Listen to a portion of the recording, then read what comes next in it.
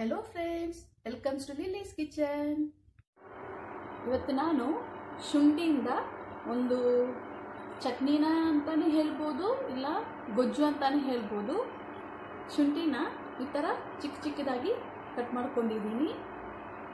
ಇಲ್ಲಿ ಸ್ಟವಲ್ಲಿ ನಾನು ಎಣ್ಣೆ ಕಾಯಕ್ಕಿಟ್ಟಿದ್ದೀನಿ. ಇದನ್ನು ಚೆನ್ನಾಗಿ ನಾವು ಫ್ರೈ ಆಗಿ ನಾವು ಇದನ್ನು ತಗೋಬೇಕು. ಇವನಿಗೆ ಎಣ್ಣೆ, ಎಣ್ಣೆಗೆ ನಾನು ಇದನ್ನು ಆ್ಯಡ್ ಮಾಡ್ತಾ ಇದ್ದೀನಿ. ಇದು ಬಂದು ಕೇರಳ ಸ್ಪೆಷಲ್ ಅಂತ ಹೇಳ್ಬೋದು. ಓಣಂ ವಿಶುಗೆಲ್ಲ ಸಾರು ಜೊತೆ ಇದು ಮಾಡಿಕೊಂಡು ತಿಂತಾರೆ. ಅಂದರೆ ಚಟ್ನಿ ಥರ ಇದನ್ನು ಚೆನ್ನಾಗಿ ಎಣ್ಣೆಯಲ್ಲಿ ಫ್ರೈ ಮಾಡಬೇಕು ಇದು ಕಲರೇ ಚೇಂಜ್ ಆಗಿಬಿಡುತ್ತೆ. ಬ್ರೌನ್ ಕಲರ್ ಆಗೋ ತನಕ ನಾವು ಇದಕ್ಕೆ ಇದರಲ್ಲಿ ಎಣ್ಣೆಯಲ್ಲಿ ಫ್ರೈ ಮಾಡಬೇಕಾಗುತ್ತೆ. ಇದು ಫ್ರೈ ಆದಮೇಲೆ ನಾನು ನಿಮಗೆ ತೋರಿಸ್ತೀನಿ. ನೋಡಿ ಫ್ರೆಂಡ್ಸ್, ಈ ಶುಂಠಿ ಏನಿದೆ, ಎಲ್ಲ ಫ್ರೈ ಆಗಿ ಕೆಳಗಡೆ ಹೋಗ್ಬಿಟ್ಟಿದೆ. ನೋಡಿ, ಫ್ರೈ ಆಗಿಬಿಟ್ಟಿದೆ. ಇದನ್ನು ನಾನು ಇವಾಗ ಪಾತ್ರಕ್ಕೆ ಫುಲ್ಲಾಗಿ ತಗೊಂಡ್ಬಿಡ್ತೀನಿ.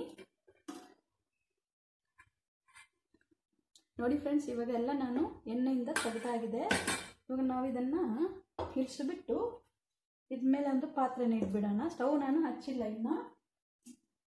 ಆಮೇಲೆ ಒಂದು ದೊಡ್ಡ ಗಾತ್ರದ ಹುಣಸೆ ಹಣ್ಣಿನ ರಸ ಇದು. ಇದಕ್ಕೆ ನಾವು ಆ್ಯಡ್ ಮಾಡೋಣ. ಆ್ಯಡ್ ಮಾಡಿಬಿಟ್ಟು ಒಂದು teaspoon chilli powder half teaspoon turmeric powder ಹಾಕಿ ಚೆನ್ನಾಗಿ ಕಲಸಿ.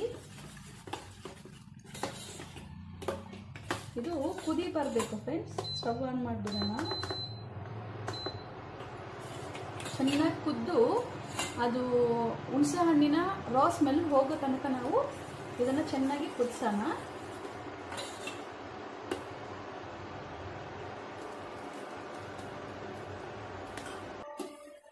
ನೋಡಿ ಫ್ರೆಂಡ್ಸ್ ಚೆನ್ನಾಗಿ ಕುದಿ ಬರ್ತಾ ಇದೆ ಇದು. ಇವಾಗ ನಾವು ತಗ್ ಫ್ರೈ ಮಾಡಿಟ್ಟಂತೆ ಈ ಶುಂಠಿನ ಇದಕ್ಕೆ ಒಂದೆರಡು ನಿಮಿಷ ಇದಾಗಲಿ ಫ್ರೆಂಡ್ಸ್ ಇವಾಗ ಇದು ಕುದೀತಾ ಇದೆ. ಇದಕ್ಕೆ ನಾವು ತೆಗೆದಿಟ್ಟಿರೋಂಥ ಬೆಲ್ಲ ಸೇರಿಸಿದ್ರಲ್ಲ.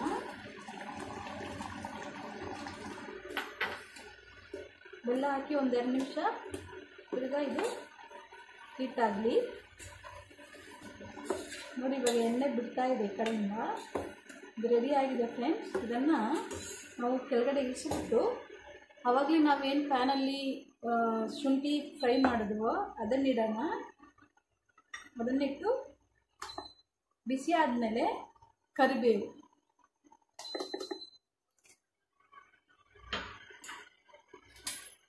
ಕರಿಬೇವನ್ನ ಹಾಕಿ ಸ್ವಲ್ಪ ಫ್ರೈ ಮಾಡೋಣ.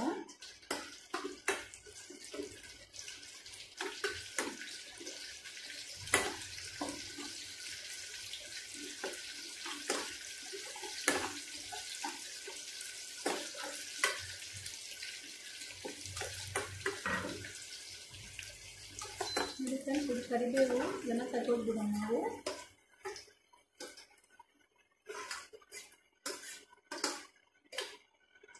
ಮತ್ತು ಮೂರರಿಂದ ನಾಲ್ಕು ಹಸಿಮೆಣಸಿ ಥರ ಕಟ್ ಮಾಡಿಟ್ಟಿದ್ದೀನಿ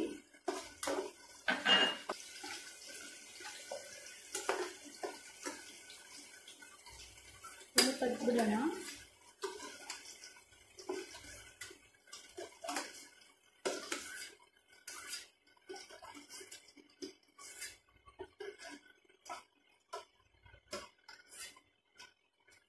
ತೆಗೆದಿಟ್ಬಿಟ್ಟು ಇವಾಗ ನಾವು ಇದಕ್ಕೆ ಒಗ್ಗರಣೆಗೆ ಸಾಸಿವೆ ಹಾಕೋಣ. ಸ್ವಲ್ಪ ಸಾಸಿವೆ. ಸ್ವಲ್ಪ ಮೆಂತ್ಯ.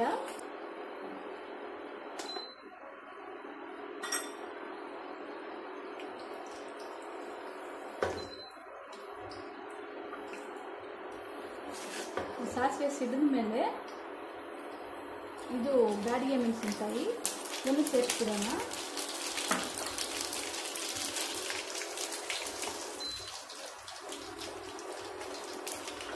ಸ್ವಲ್ಪ ಮೆಂತ್ಯದ ಪುಡಿ. ಮೆಂತ್ಯನ ಫ್ರೈ ಮಾಡಿ ಲೈಟಾಗಿ ಪುಡಿ ಮಾಡ್ಕೊಂಡಿರೋದು. ಇದು ಸ್ವಲ್ಪ ಹಿಂಗು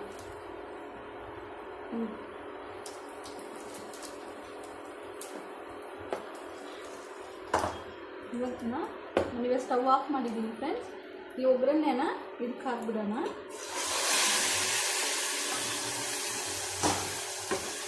ಮತ್ತು ಫ್ರೈ ಮಾಡಿದಂಥ ಹಸಿಮೆಣಸು ಕರಿಬೇವು. ಹಾಕ್ಬಿಟ್ಟು ಚೆನ್ನಾಗಿ ಕಲಸಿ.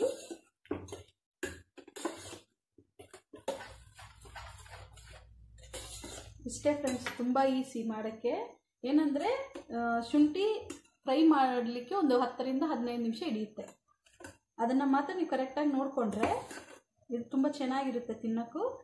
ಸಾಂಬಾರು ರಸಮ್ ಅನ್ನದ ಜೊತೆ ತಿಂದರೆ ಗ್ಯಾಸ್ಟ್ರಿಕ್ ಸಮಸ್ಯೆ ಮತ್ತು ಹುಳಿ ತೇಗ್ ಬರೋದು ಅದೆಲ್ಲ ಏನಿರಲ್ಲ, ಜಿಂಜರ್ ಬಂದ್ಬಿಟ್ಟು ಡೈಜೆಷನ್ಗೆ ತುಂಬ ಒಳ್ಳೇದು ಹೆಲ್ಪ್ ಮಾಡುತ್ತೆ. ಹಾಗಾಗಿ ನೀವು ಒಂದ್ಸಲ ಥರ ಟ್ರೈ ಮಾಡಿ ನೋಡಿ. ನನ್ನ ವಿಡಿಯೋ ಇಷ್ಟ ಆದರೆ ಲೈಕ್ ಮಾಡಿ, ಶೇರ್ ಮಾಡಿ, ಕಮೆಂಟ್ ಮಾಡಿ. ಸಬ್ಸ್ಕ್ರೈಬ್ ಮಾಡಿ ಫ್ರೆಂಡ್ಸ್ Thank you.